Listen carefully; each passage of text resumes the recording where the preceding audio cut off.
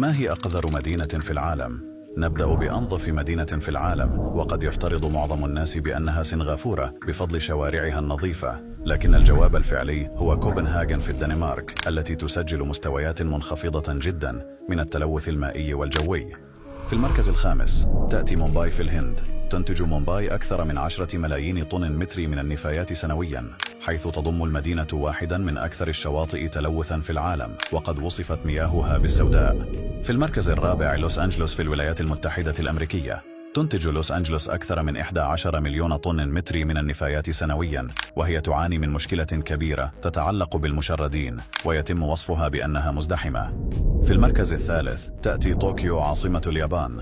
قد يكون هذا مفاجئا لك حيث يعتقد معظم الناس أن طوكيو نظيفة جدا لكنها تنتج أكثر من 12 مليون طن متري من النفايات سنويا مما يجعلها تحتل المركز الثالث في هذه القائمة.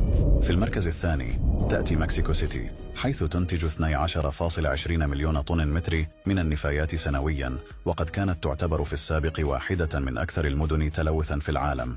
وأخيرا في المركز الأول وبفارق كبير تأتي مدينة نيويورك حيث تنتج نيويورك حوالي 33 مليون طن متري من النفايات سنويا رغم أن طوكيو ومكسيكو سيتي لديهما تعداد سكاني أكبر من نيويورك فإنهما تنتجان ثلث كمية النفايات فقط فما هو رأيك؟